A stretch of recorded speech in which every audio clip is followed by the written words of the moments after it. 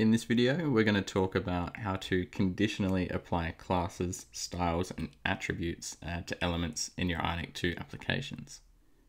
In a recent video I did, uh, which I'll link to from this one, I talked a little bit about property binding, uh, event binding, uh, and interpolation. And in this video, we're going to use the concept of property binding again to apply these conditional uh, styles and attributes uh, to elements.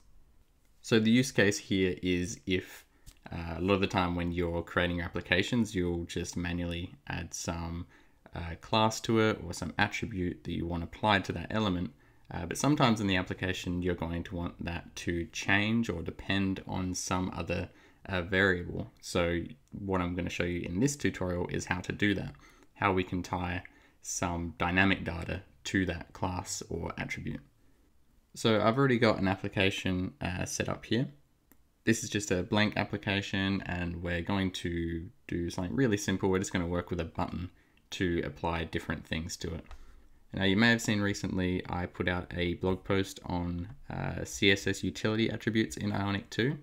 Uh, so this will be helpful when working with this kind of stuff. Um, these attributes are things that Ionic provide that can help uh, style your elements and they're just little attributes that you can add on to elements like the button here uh, by adding the ion button attribute. It'll apply the ionic styling for buttons.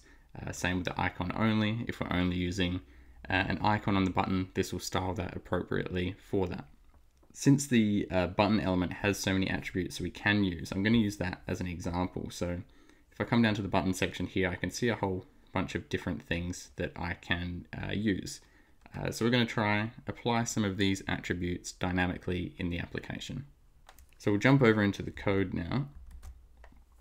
Okay, this is the, the code for the application I've already generated. And what I'm going to do is come into here and I'm just going to create a button. So we'll give it the ionic styling and let's also go with the outline attribute. So if I just finish off this button here and we take a look at what happens, you can see that the button uh, just has an outline rather than being a solid button. So if I get rid of that outline and take a look again, we'll see that it's a full solid button. So the scenario we're going to go through here is if we want to, for some reason, conditionally apply that outline attribute maybe in your application you will display an outline if a user hasn't clicked that button yet but if they have clicked it you want to display a full solid button uh, so to do that what we could do is set up some variable in here now it doesn't matter where this is it just needs to be some value we can access somewhere so it could be living in uh, some object that we're looping through in the template um, whatever, wherever the variable is, as long as we can access it in our template, we can use that to conditionally apply that attribute. So I'm just going to create a member variable here called is outline. That's going to be a boolean and I'm going to set it to true. So if I come in here now and instead of just saying outline, if I use the property binding syntax by using the square brackets around outline and then set that to be whatever our variable is here. So I'll set it to is outline and save it. And since it's true, we should just see the outline, and we do. If I was to come in here and change this to false,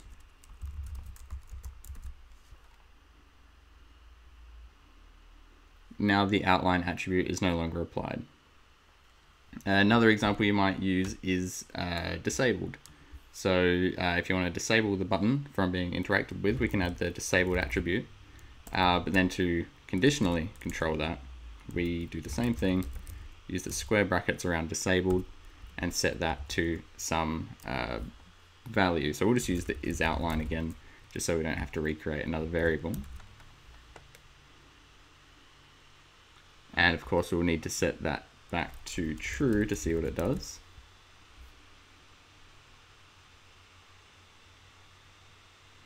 And you can see now that uh, we have the outline styling back and it's also grayed out. It might be easier to see actually if I get rid of this outline attribute.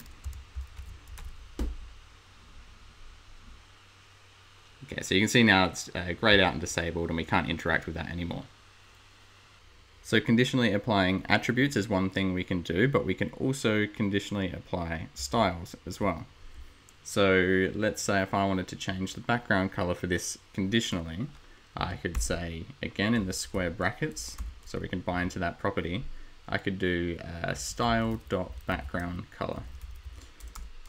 And note here that uh, usually like in CSS we do background color with a hyphen there, but uh, when we're using these properties, uh, we use the camel case, so no hyphens, and the first uh, word is lowercase and the second is capitalized. So we can do style.background color equals, and we'll call this, uh, we'll just create some variable called my color. So now if we come into here again and define that, we'll set my color as a string, which is, we'll just set it to black and save that. Now if we come and have a look in here, we should see that it's black. I had a feeling that wasn't going to work. Um, the there we go. I've got mixing up my American and English here, um, or American English rather. So let's change that. We'll add a U in there. Save it again, and let's see if it works now. Okay, cool. Now we can see it's black, and it's also slightly grayed out actually because we still have the the disabled styling on. So I might just switch that off if I switch is outline to false, which we're using for the disabled value. And take another look and we should have a darker black. And we can now interact with the button again if we wanted to. So you can use that syntax to bind to any uh, CSS uh, property just as long as you use this uh, syntax rather than uh, the usual uh, hyphens that CSS properties usually use. So as well as the styles, we can also bind to, and I'm going to get rid of these for now, uh, we can also bind to a class. So if I wanted to conditionally apply some class, uh, we can again use the same syntax with the square brackets, uh, but instead do class dot uh, some, some class. And then we'll set that to a variable we have defined somewhere, and we'll just call this apply class. Now if I jump back into here and create that,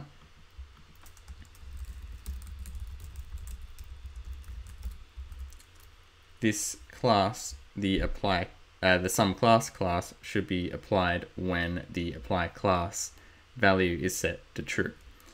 Uh, so now if I jump back in here and we'll just uh, inspect this, and you can see here that some class has been added to the button. So we could then come in here and define that class and make it do whatever we want uh, and then we can conditionally control whether or not that class is applied to this button element. Now the final thing I want to cover is how we can conditionally apply multiple classes. So this works well if we just want to have one class, uh, but if we want to apply multiple classes conditionally, we can use ng class. And what this does is allow us to provide uh, an object that defines which classes we want to uh, apply to this button. So again, we use the square brackets and we'll set ng class equal to, we'll just create uh, an object called classes. So if we jump in here now and we create another variable, uh, we're going to create an object and that object is going to define what classes we want to include and what ones we don't want to include. So I'll just create some classes here called, just call them class 1, 2, and 3. So I'll do class 1, I will set that property to true, set class 2 to false, and we'll set class 3 to true. So if I save that, let's make sure that's all good this time. Uh, we'll jump back into the browser, and once that's finished loading, we're going to inspect that button again. And what we hope to see this time is that the two of those classes were applied and one of them isn't. So if we take a look, we can see we have class 1 and class 3 being applied to this button now. And if I look in this object, that's exactly what we wanted. So then we could change that, make those two false and we'll activate class 2 and take another look and hopefully that change applies as well.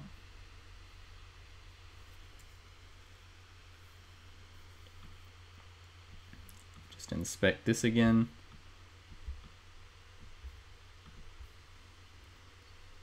And yes, you can see we just have class 2 now and the other two classes are gone.